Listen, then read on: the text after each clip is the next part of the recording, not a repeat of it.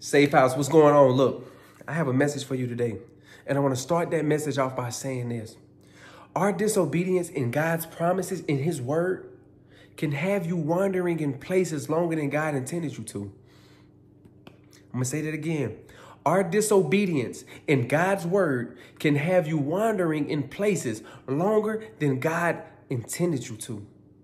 Because some of you right now, you're in places of your life that God has brought you out of that has been tormenting you and placing you in spiritual incarceration.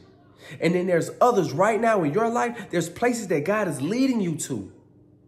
Places in your life that God is leading you to that will provide you the freedom that you need from that spiritual imprisonment. But there's also another place that is in between both of those type of environments. And in this type of environment that is in that, that is in the middle of both, this is an environment that a lot of us run from. Because inside of this environment, we have to unpack a lot of things about ourselves. And while we unpack a lot of things about ourselves, we're learning a lot of things about ourselves in the process. Because in this type of environment, we go through a lot of mental, emotional, and spiritual suffering so that God can form us into the person that he needs us to be.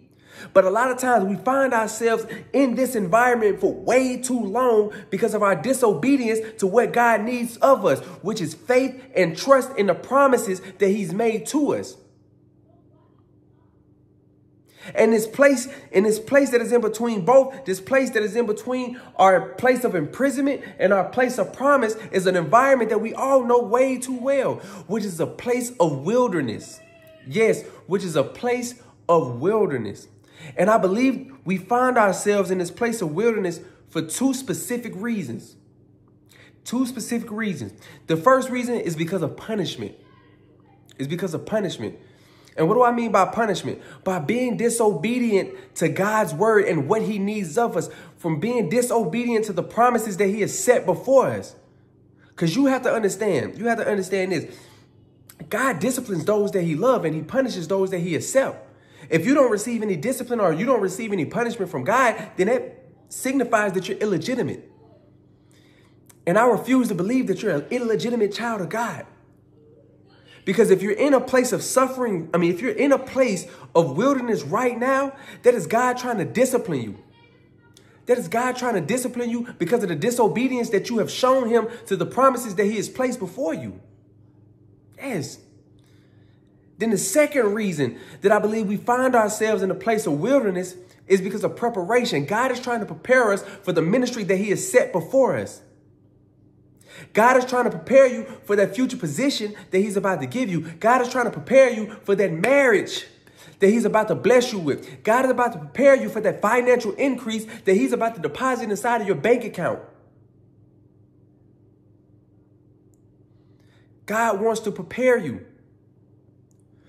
So those are the two reasons that I believe we find ourselves in a place of wilderness. And I want to be able to give you examples using text, of course, of what that actually looks like. And one of them is something that we all know very well. When you look at the people of Israel, right, and how God brought them out of Egypt, a place of imprisonment, a place of imprisonment. He brought them out of a place where they were suffering to take them to a land that he had promised them a land flowing of milk and honey. And throughout that time, God is showing them his power. First, he showed them, hey, I can bring you out of a place of imprisonment. Then bringing them out of a place of imprisonment, they get to the Red Sea. Moses parts the Red Sea. That is another miracle that God is showing them. Look, I am showing you. I am showing you all of these things. So he brought them out of imprisonment. He destroyed, he destroyed their enemies in the Red Sea. And it was their hearts were still hardened to the promises of God. And it was at this point that it was at another point later on in the book of uh, in the book of Numbers, Moses sent out 12 people to go check out the land.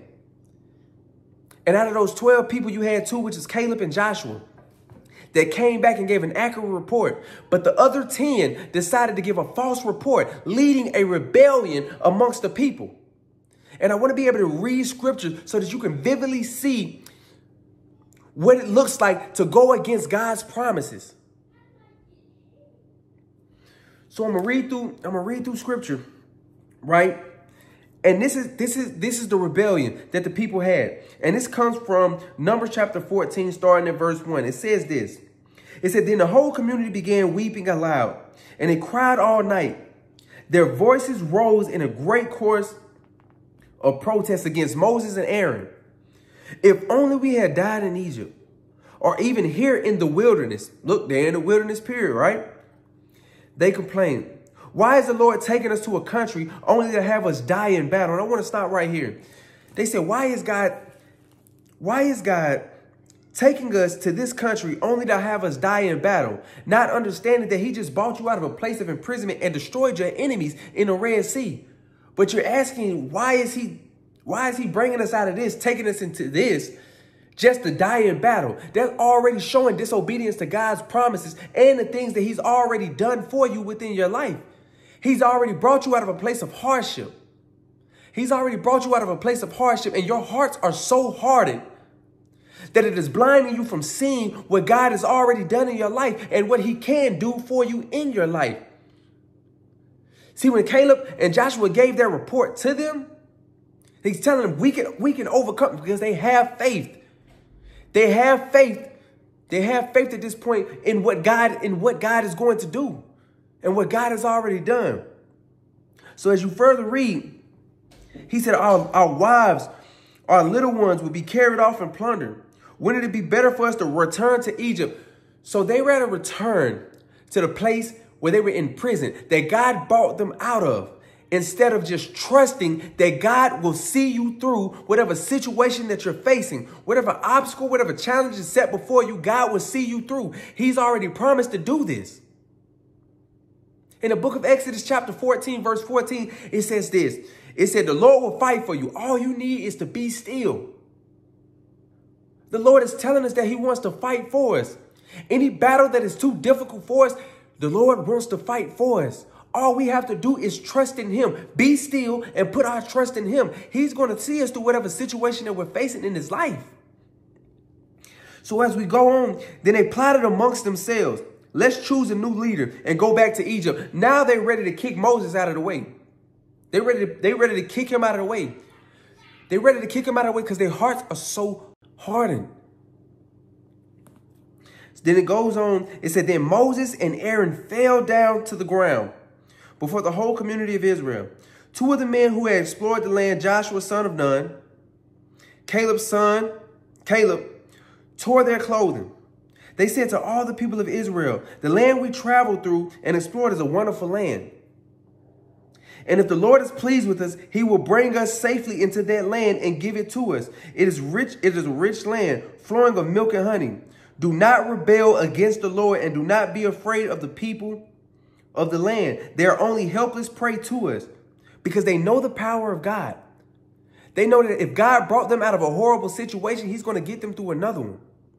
It is no way and no reason that God will bring you out of a out of a traumatizing situation and not see you through uh, not see you through other situations in this life. No. He's telling them don't be afraid. But the whole community began talking about stoning, stoning them. They're talking about stoning these people because they lack faith in what God has already shown them that he will do for them. And so now it is through their disobedience that they find themselves in the wilderness even longer than God intended them to be as a form of punishment. And I want to read that to you. And this comes from chapter it comes from Numbers chapter 14, verse 26. And then it says this, Then the Lord said to Moses and Aaron, How long must I put up with this wicked community and its complaints about me? They're complaining to, they're complaining about God. They're complaining about God. Think think of how crazy that is. You find yourself in a position where you truly need someone, but you're complaining about them after they've already performed so many miracles for you to believe in them for. He said, Yes, I've heard the complaints the Israelites are making against me. Now tell me this, as surely as I live and declares the Lord, I will do, I will do to you the very things I heard you say. You, you will all drop dead in this wilderness because you complained against me. And every one of you who is 20 years old or older and was included in the registration will die. You will not enter or occupy the land I swore to give you. The only exceptions will be Caleb, will be Caleb and Joshua. You said your children will be carried off as plunder, and I will bring them safely into the land, and they will enjoy what you have despised. But as, as for you, you will drop dead in this wilderness, and your children will be like shepherds wandering in the wilderness for 40 years. In this way, they will pay for your faithless, faithfulness until the last of you lies dead in the wilderness. So at this point, other people will pay for your disobedience. And that's the thing that we fail to realize that, you know, when we when we put ourselves in a position of being disobedient to God, we're not the only ones that has to suffer. It's other people that are connected to us right now that suffers because of our faithfulness, our our our um our faithless faithful faithlessness, right? They suffer because our because of our faithlessness, because of our disobedience, because of our lack of trust in God. Other people have to suffer for our mistakes. And so you don't want to put yourself in a position in your life where other people have to suffer because of the things that you've done in your life. That's that's like being careless with finances. You're not the only person that has to suffer. Your children have to suffer after you as well. Now they have debts that are added onto them because, because of your carelessness. We have to be mindful of these things because the things that we do in this life, it not only affects us, but it affects it affects everybody that is connected to us and everybody that we were entrusted to steward over. So we have to be mindful of these things. Then the text further it, further says this, because your men explored the land for 40 days, you must wander in the wilderness for 40 years, a year for each suffer, a year for each day, suffering the consequences. Then you will discover what it's like to be an enemy of God. And I, the Lord, has spoken, and I will certainly do the things that every member of the community has conspired against me, and they will be destroyed here in this wilderness. Don't let the place that God was trying to take you through become the place that you die in. I'm going to say it again. Don't let the place that God was trying to take you through, the place where he was trying to teach you a lesson in, be the place that you die in. They had to spend 40 years in that place and never see the promised land that God was trying to give to them. Do you know how crazy that is? This trip was supposed to take 11 days, but it took them 40 years. And they still never seen the promised land that God was trying to give to them. Could you imagine? Could you imagine in your life knowing that it was going to take you a day to get somewhere? But because you wanted to be disobedient, you didn't want to trust the process, it took you, instead of a day, we're not going to be dressed. Say it took you 10 days afterwards to get there because you wanted to be you wanted to be disobedient. That's like having a GPS trying to take you in the right direction. But you going off your own thoughts and your, your own cognitive say, well, I'm going to go this way. I'm not going to listen to the GPS. And then you end up getting lost. And it takes you longer to get to the destination that you were trying to get to because you failed to follow the GPS that was set before you. You don't want to be in a position of your life where God is trying to get you to a promised destination and it's and it may be a quick route and you fail to trust in him and you want to be disobedient to what he's trying to do and it takes you longer than that. No, God is trying to get you to a promised destination within your life. All you need to do is trust in what he's doing throughout the process because he's already he's already shown you his power. He's already shown you this. He's already shown you these things in your life. And this is what it looks like to be in the wilderness because of, because, because of your disobedience as a form of punishment. When you look at the book of Jonah, Jonah was in the same position, being in the belly of the fish for three days because of his disobedience to God. God told him to go to the city of Nineveh, but he decided to go in the opposite direction. So God sent a storm that dang near killed everybody that was around him. Remember, your disobedience to God not only affects you, but it affects everybody else that is around you, everybody else that is connected to you. And it's because of Jonah's disobedience that other people was about to suffer. And then Jonah found himself in a place of wilderness within, a, within the belly of the fish.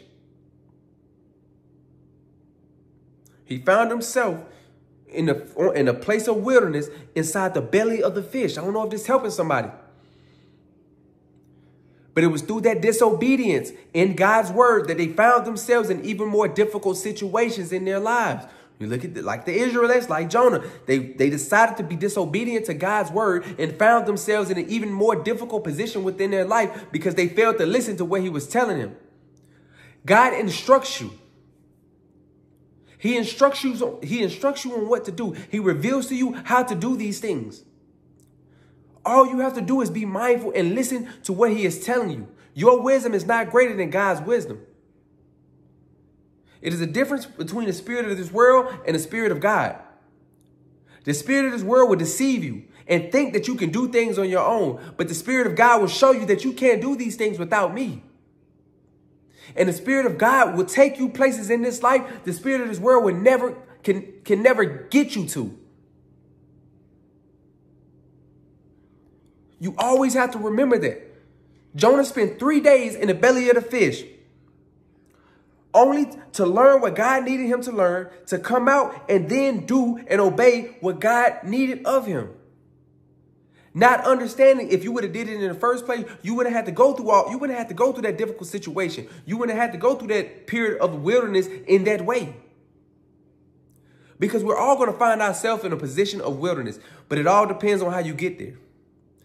Because it doesn't matter. I want you to understand this. It doesn't matter matter how you get in that position of, you know, a position of being in the uh, a, a season of the wilderness because it's all going to end the same way and it's in God's will happening. So we know how we can find ourselves in a place of wilderness because of punishment. But I want you to know that is not the only that is not the only way that you can find yourself in a position of wilderness. You could also find yourself in a position of wilderness as a form of preparation. And we've seen this when Jesus was um, when Jesus was led by the Holy Spirit into the wilderness to be tempted by Satan. But what you don't realize, Jesus is being led here. This is the this is the very beginning of his ministry. God is preparing him for the ministry that he's about to conduct here on this earth. God is about to prepare him for the most important task that he's ever had in his life. It wasn't as a form of punishment. No, it was as a form of preparation. God was preparing Jesus for what was to come. And in that moment of preparation, he went through three different accounts of being tempted by Satan. And on each one of those accounts, he used the word of God as a form of protection from the deception that Satan tried to use against him. And that is the same thing that we have to do within our lives as well. See, God may be taking you through a period of wilderness as a form of preparation, like I said in the beginning. God is preparing you for that new position that you're about to get into. God is preparing you for that new relationship that you're about to get into, that marriage that you're about to walk into. He's about to prepare you for a financial increase inside of the in, in, with, with deposits inside of your bank accounts, checks in your mailbox. He's about to prepare you for moments of prosperity. But you have to be willing to go through those moments of wilderness. This is very important because you have to be able to unpack certain things that you packed inside of yourself that God never needed inside of you. You have to be willing to unlearn things that was taught to you because of the circumstances and the environments that you were faced with. It is time for you to see your true selves. You have to see who you really are because that's when your blessings come when you're operating within your true self, not somebody that you you you're you're pretending to be, not somebody that you're imitating. No, God is going to bless who you actually are in this life. All of us are created differently, and we have to begin operating within our true selves. We have to begin operating as the people that God intended us to be. Because I guarantee you, the person that you went in as, the person that you were as you entered the, the wilderness is not the person that you're going to not the person that you're going to be when you come out of it. You're going to be two different people. God is truly trying to bless you in these moments of your life. He is. But you have to decide how you're going to enter that season of wilderness. Are you going to enter it because you were disobedient to his word? are you going to enter it because you are obedient to his word and you God is going to God is about to prepare you for something that is going to bless you in the next season of your life. See, I've been through those situations in my life more time than I would like to say. And a lot of the times that I was in a position of wilderness was because of punishment, was because of disobedience to what God was trying to do within my life and what God needed to needed me to do within my life. Yeah. I was disobedient to a lot of things because I wanted to do things the way that I, I wanted to do them. Not the way God needed me to do them, but the way that I wanted to do them. And so we have to, you have to make a decision for yourself. Do you want to find yourself in the same position that the Israelites did? Having to wander around for so many years of their lives when it was only so, so, supposed to take them 11 days to get to where they were supposed to be going. But through their disobedience, had them wandering around for 40 years. You have to make a decision. Is that the life that you want? Do you want to put yourself in a position of going back to your place of imprisonment or walking to the promised destination that God has for you? You have to ask yourself, do you want to go in this period of wilderness as a form of preparation for what God is about to do in your life. And if that's something, if, if that's something that you want to do, put the, put it in the comment box. Put it in the comment box, and I'm gonna pray for everybody in there. Because I want you to fully embrace what God is doing in your life. Don't put yourself in a position where you're in a, a season of your life and you're in that season of your life longer than God intended you to. Because God is not going to put you in a position that you're not ready for. Tell you, He's not going to put you in a position that you're not ready for. He's not. He's not. He's not going to do you like that. He's going to prepare you. And however long it takes to prepare you for that position, that's how long that's how long it's going to be.